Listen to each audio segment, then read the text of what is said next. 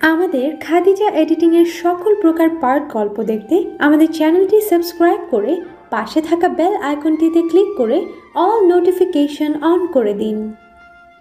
কি হয়েছে? ফেলে দিলে কেন? তুষি শুকনো গলায় বলল এসব পরে করবেন। নাস্তা এনেছি খেয়ে নিন আগে। আরাপ স্থির চোখে চোখ রাখল। তুষি মলিনতা লুকাতে চোখ সরিয়ে ফেললেও ঠিকই তা নজরে এড়ায়নি। আরাপ লাগেজে চেইন টেনে বিছানায় বসে। তুষি প্লেট এনে সামনে রেখে চলে যেতে নেয়। আরাপ ধীর গলায় বলে কোথায় যাচ্ছ? একটু মায়ের কাছে যাচ্ছি। আপনি খান আমি আসছি। অতপর তুষি আর ঘরে এলো না। ডিনারের সময় হলো। আরাম ডাইনিংয়ে এসে ডিনার করল। তখনও তুষিকে দেখল না। অগত্যা নিজেই ঘরে চলে গেল। তুষি ডিনার করেও দীর্ঘ সময় বসে রইল ড্রয়িং রুমে। মিসেস আঞ্জুমানের সাথে টুকটাক কথা বলল। শুধু শুধুই টিভি ছেড়ে বসে রইল। তার কেন যেন কিছুই ভালো লাগছে না। আরাফের সামনে দাঁড়াতেই পারছে না। বুক ফেটে কান্নাই কেন আসছে তার? রাত দশটার পর তুষি ঠিক করল ঘরে যাবে। সোফা থেকে পা নামিয়ে দাঁড়াল। পরনের কামিজ ঠিক করে ঘরের দিকে পা বাড়ালো। রুমের দরজা খোলাই ছিল। তুষি পা টিপে টিপে ঘরে চলে গেল। আরাবকে দেখল না ঘরে। ওয়াশরুমে আছে এই সুযোগ। তুষি দরজা লাগিয়ে লাইট নিভিয়ে দিল। দু এক পা দিয়ে বিছানার দিকে এগিয়ে যেতেই কান এটো করা ভারী কণ্ঠ কানে এলো। খবরদার ঘুমানো নাটক করার চেষ্টাও যদি করেছ? তুষির পিলে চমকে উঠল। অন্ধকারের পাঁচে তুষির মনে দম বন্ধ হয়ে যাচ্ছে। ঢোক গিলে পিছনে ফিরতেই আরাব দ্রুত এসে তুষির হাত চেপে ধরে ক্রধান্বিত কণ্ঠে পড়ল মায়ের চিনো এক থাপ্পড়ে দাঁত ফেলে দিব ফাজিল। এতক্ষণ কি করছিলে বাইরে? তুষি ঠোঁট ভেঙে তাকালো তার ঠোঁট মৃদু মৃদু কাঁপছে। আরাব এই সময়ও তাকে ধমক দিতে পারল? অভিমানের পশরা বইয়ে ফেলল ভিতর ভিতর। আরাফের থেকে হাত ছাড়িয়ে নিয়ে ব্যালকনিতে চলে গেল। ব্যালকনিতে গিয়ে ঠোঁটে ঠোঁট চেপে কান্না থামানোর প্রয়াস চালালো। গ্রিলে ঠেসে হাত রাখল। এত জোরেই চেপে ধরল যে এক মুহূর্তেই হাত লাল হয়ে গেল। আরাব চট করেই তুষির কাছে গেল। এতে আরও কান্না পেল তুষির। লোকটা এত নির্দয় কেন? তার ভাবনার মাঝেই বলিষ্ঠ হাতছোড়া তুষির নরম উদরে ছুঁয়ে দিল। গলার সাথে গাল লাগিয়ে ধীর গলায় পড়ে উঠল। রাগ করলে? আদুরে প্রশ্নে তুষির হৃদযন্ত্র কেঁপে উঠল। এত এত অভিমান হাত গুটিয়ে লুকিয়ে গেল। আরাফের হাত ছাড়িয়ে পিছনে ফিরে এক প্রকার আছড়ে পড়ল তার বক্ষস্থলে। এত এত চেষ্টা করল নিজের মলিনতা বিষণ্নতা লুকাতে, কিন্তু তাও ব্যর্থ হলো। আরাফের বুকের কাছে শার্ট আঁকড়ে কেঁদেই ফেলল শেষমেশ। এত কষ্ট করেও কান্না আটকাতে পারল না। দেখে তুষির কান্নার বেগ আরও বেড়ে গেল। আরাফ বাধা দিল না। কাদা প্রয়োজন। আটকে রাখলে নিজের ভিতর অস্বস্তি লাগে। কাঁদলে মন হালকা হয়। আরাব ধীর হাতে তুষির মাথায় হাত বুলিয়ে দেয়। নরম গলায় বলে সরি তো বাবা আর বকবো না কান্না থামাও। তুষি কাঁদতে কাঁদতে বলল আপনাকে কি যেতেই হবে না গেলেই নয়? আরাব কণ্ঠ দৃঢ় করে বলে না তুষি যেতেই হবে। এটা আমার ড্রিম। সুযোগ যখন পেয়েছি মিস করতে রাজি নই। তুমি আপাতত কান্না থামাও। দুই সপ্তাহই তো। চোখের পলকে দেখবে চলে গিয়েছে। এখন চুপ করো। তুষির কান্না থামালো চুপচাপ হয়ে গেল। নিজেকে সামলে নিয়ে সরে যেতে গেলেই আরাব বাদ সাধে। এক ভ্রু উছিয়ে বলে সরে যাচ্ছ কেন? যেতে বলেছি চুপ করে থাকতে পারো না একটু। এভাবে থাকো। তুষি অভিমান গলায় বলে না থাকব না কালকে কি করবেন? কালকে তো এই সময়টা আমাকে পাবেন না। তখন কাকে বলবেন কাছে থাকতে? আরাব ঠোঁট চড়িয়ে হাসে কৌতূহলের সুরে বলে তুমি না থাকলে যে থাকবে তাকে বলব। সিম্পল। তুষি রুষ্ট চোখে তাকায় আরাফের হাত ছাড়িয়ে নিতে চেষ্টা করে। ঠোঁটে ঠোঁট চেপে বলে আপনার মতো যাত্রীর একটাও নেই এই দুনিয়া ছাড়ুন। আপনি জানেন আপনি একটা অসভ্য লোক বাজে লোক একদম ধরবেন না ছাড়ুন। আরাফ হাতের পাথর দৃঢ় করল ঠোঁট কামড়ে বলল অসভ্য বাজে লোকের উপাধি যখন পেয়ে গিয়েছি তখন অসভ্যতা আমি না করলেই নয় করি। তুষি নাকের পাটা ফুলিয়ে বলল একদমই না আপনি যান অন্য মেয়েদের ধরুন। আমার কাছে একদম আসবেন না। যান যান। আরাব হুট করে কোলে তুলে নিল তুষিকে। তুষির বুক ধরাস করে উঠল। দুহাতে গলা চড়িয়ে কম্পিত গলায় বলল কি করছেন? আরাব বিছানার কাছে যেতে যেতে বলল অসভ্যতামি তোষি অতভাগ হয়ে যায়। আরাব বিছানার কাছে গিয়ে নিচু হয়ে তোষিকে শুইয়ে দেয়। অন্য পাশে গিয়ে সে নিজেও শুয়ে পড়ে। তোষিকে কিছু বুঝতে না দিয়ে নিজের বক্ষ পিঞ্জারে জায়গা করে হতে দেয়। দুহাতে জড়িয়ে ধরে তোষিকে। তোষিও চুপটি করে পড়ে থাকে আরাফের বুকে। আরাফ উষ্ণ আলিঙ্গনে তোষিকে আবদ্ধ করে ফিসফিস করে বলে, আমার শুদ্ধ হৃদয়ে প্রেমের কলঙ্ক যখন লাগিয়েছ, এই কলঙ্ক তুমি দূর করবে। আপাতত একটা শান্তির ঘুম প্রয়োজন। না জানি কতদিন কপালে ঘুম নেই। সকালের এক মুঠো রোদ এসে হানা দিল তুষির মুখে। পর্দা তলিয়ে মৃদু হাওয়া বইছে। রোদের মিষ্টি আভায় পিটপিট করে তুষির ঘুমো ঘুমো চোখ। চোখের উপর এক হাত চেপে ধরল। কিছুক্ষণ চোখ বন্ধ করে থেকে উঠে বসল। চোখ কচলে আবার নিভু নিভু চোখে তাকালো। শীত শীত লাগায় গায়ে চাদর টেনে কাঁধ পর্যন্ত জড়িয়ে নিল। উস্কো খুস্কো চুলগুলো হাত দিয়ে নেড়ে পাশে তাকালো। পাশে আরাপ নেই। তো সে কপাল কুচকে ওয়াশরুমের দিকে তাকালো। আন মনেই সারা ঘরে চোখ বোলালো। নজর গিয়ে ঠেকলো দেয়াল ঘড়িতে। সকাল আটটা। তুষি থম মেরে গেল। এত সকাল হয়ে গিয়েছে, কিছু একটা ভেবেই তুষি তাড়াতাড়ি বিছানা থেকে নেমে গেল। গলায় ওড়না পিছিয়ে বারান্দায় গেল। বারান্দাতেও কেউ নেই তুষি ঠোঁট চেপে এক ছুটে ঘর থেকে বেরুলো। মিসেস আনুমান ঘরে বসে বালিশ ঠিক করছিল। তুষি তার মাঝেই ঘরে এসে দাঁড়াল। মিসেস আঞ্জুমান তুষির দিকে তাকালেন।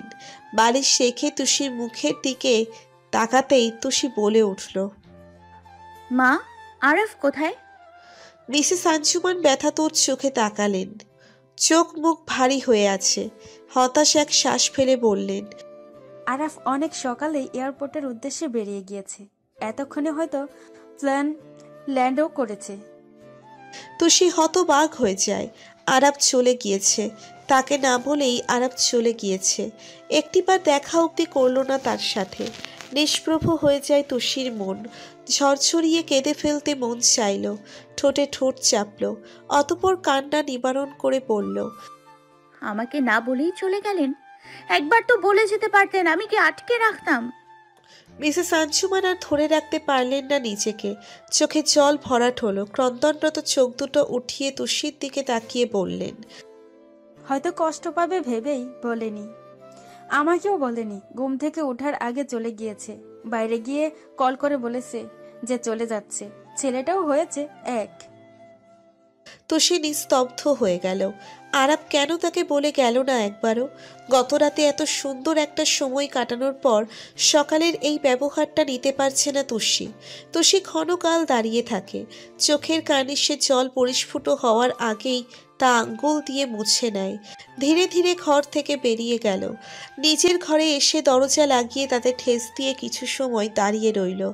বুকের বাপাসটায় তীব্র যন্ত্রণা হচ্ছে তার। শরীরও বিবশ হয়ে আসছে। আরাব কেন তাকে বলল না? একটিবার বলে গেলে কি হতো?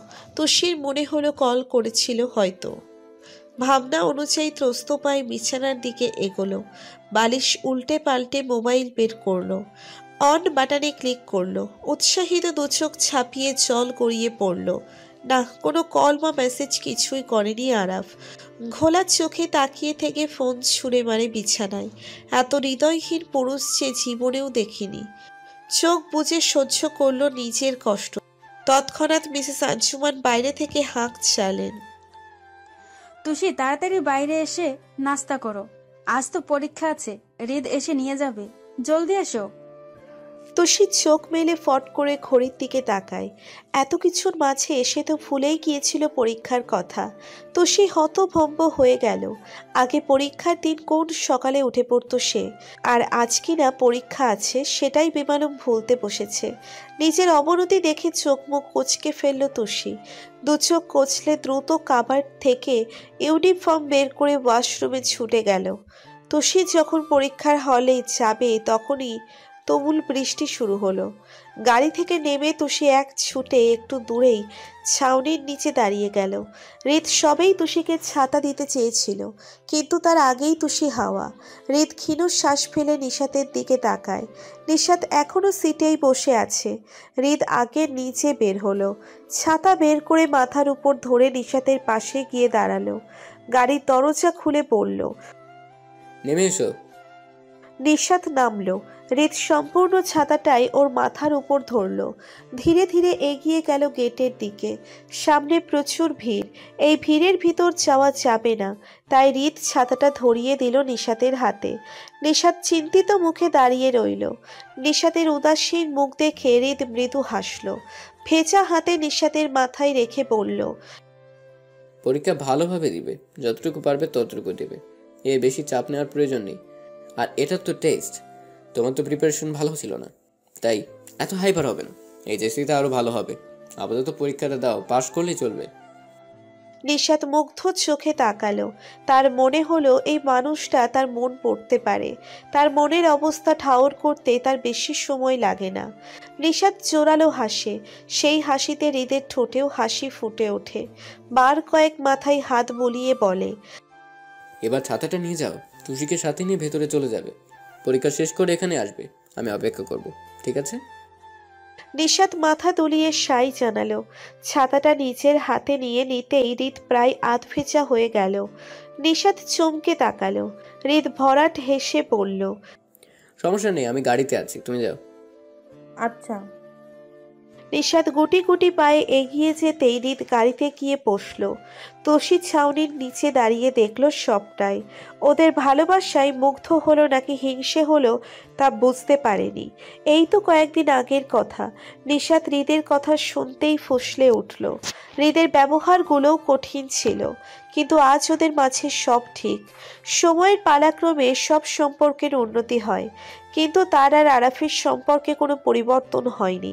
যতটুকু পরিবর্তন হয়েছে তা কেবল স্বামী স্ত্রীর মাঝে না হলেই নয়।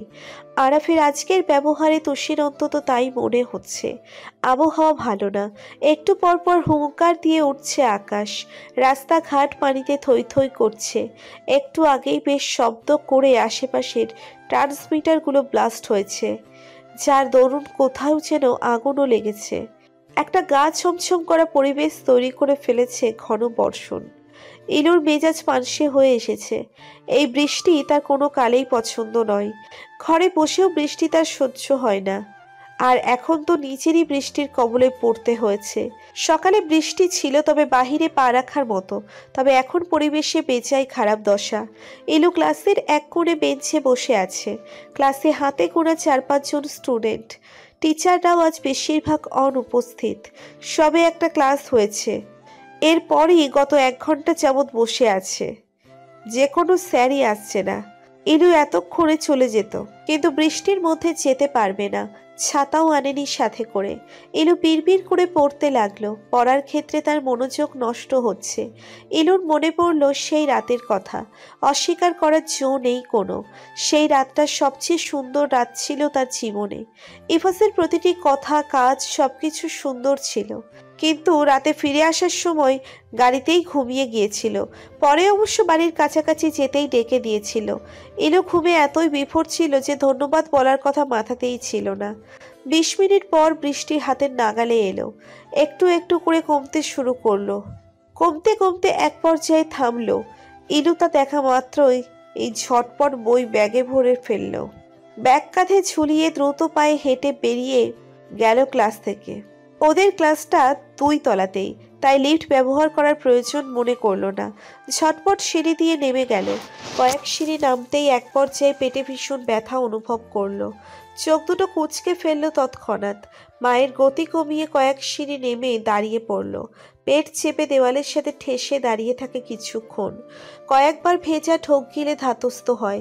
চোখ বন্ধ করে লম্বা শ্বাস টেনে নেয়।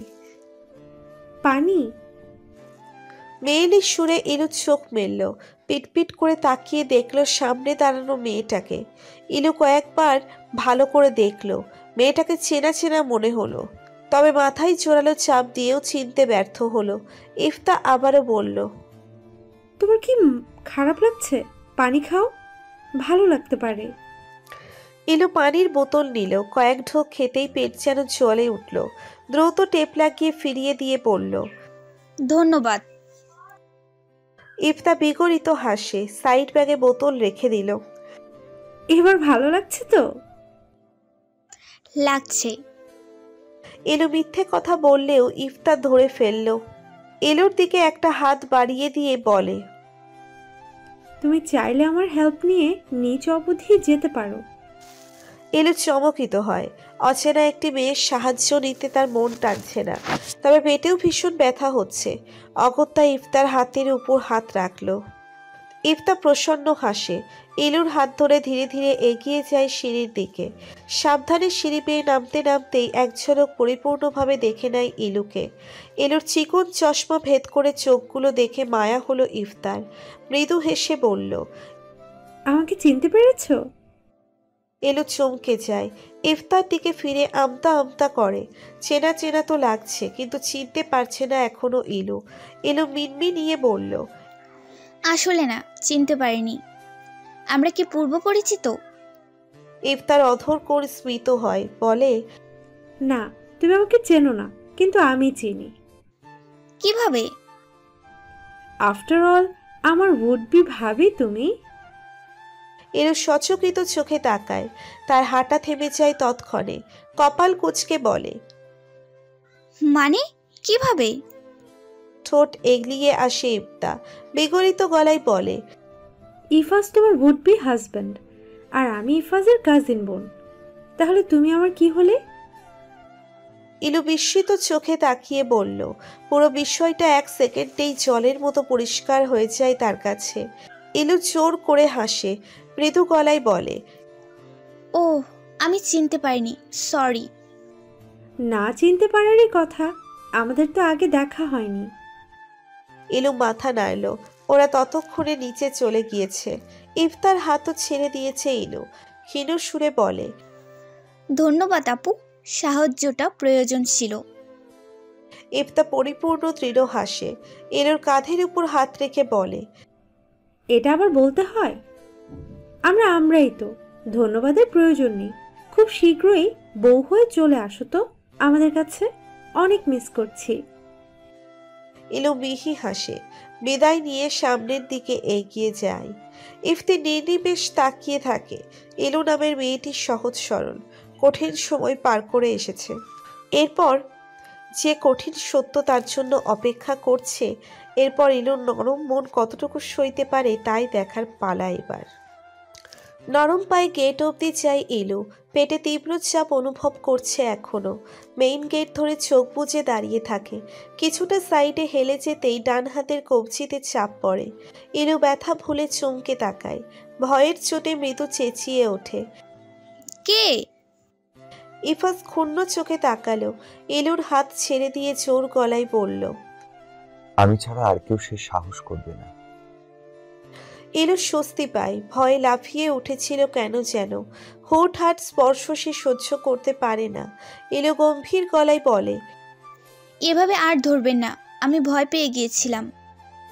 ইফাজ হাসলো সরল গলায় বলল তুমি নাকি ভয় পাও না?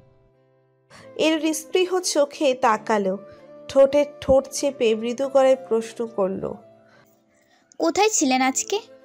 এসেছি পর থেকে দেখিনি যে হচ্ছিলে নাকি? ইফাজ দুই ভ্রু নাচিয়ে জিজ্ঞেস করল এলো থতমত খেয়ে গেল। সে তো খুঁজছিল এমনিতেই তার জানতে ইচ্ছে করল কোথায় ছিল। ইলু কথা কাটতে বলল না তেমন কিছু না। আসলে সবাই বলে মানে সায়েন্টিস্টরা বলে পরিচিতদের খবর কম বেশি রাখতে হয়। না হয় শরীরে হিমোগ্লোবিনের পরিমাণ কমে যায়। চশমা উপর নিচে উঠিয়ে অন্য পাশে তাকালো। সে এসব কি বলছে? এসব উদ্ভট কথা সায়েন্টিস্টদের নামে চালিয়ে দিলেই কি সত্যি হয়ে যাবে? এফাসের অধরে খেলে যায় দুষ্টু হাসি। বাঁকা হেসে জিজ্ঞেস করে তা কোন সায়েন্টিস্ট আখ্যা দিলেন এমন করুণ সায়েন্সে? ইলু চোরানো গলায় বলে আইনস্টাইন। এফাস দুই ঠোঁট প্রসারিত করে হাসে। ক্ষীণ সুরে বলে ভাগ্যিস বেচারা বেঁচে নেই। বেঁচে থাকলেও মরে যেত তোমার সায়েন্স শুনে। এলো অপ্রস্তুত হয়ে গেল। ইফাস পরিস্থিতির সামলাতে কথা ঘোরালো। বাসায় যাবে না? হ্যাঁ যাচ্ছি। ভালো থাকবেন। এলো চলে যেতে নেয় ইফাস গম্ভীর মুখে বলল বিদায় পরে নেবেন ম্যাডাম। আপনাকে বাড়ি পৌঁছে দেব আমি। তার কোনো প্রয়োজন নেই। আপনি শুধু শুধু কষ্ট করবেন। সেটা আমি বুঝব। এসো। ইলু আর বাধা সাধে না। পেট ব্যথায় দম বেরিয়ে যাচ্ছে তার। তর্কাতর্কি করার ইচ্ছে নেই মোটেও। গাড়িতে উঠেও দুজন চুপচাপ থাকল। ইফাস স্টিয়ারিং ঘুরিয়ে জিজ্ঞেস করে ক্লাস আওয়ার তো আগেই শেষ হয়েছিল। বেরোতে দেরি হলো যে? এলু থমথমে মুখে বলল এমনিতেই। কারোর সাথে দেখা হয়েছিল? এলু আনমনেই না করে দেয়। ইফাস আর কিছুই বলে না। গাড়ি বাসার সামনে থামতেই বেরিয়ে যেতে উদ্যত হয়। এফাস মোলায়েম কণ্ঠে ডেকে ওঠে।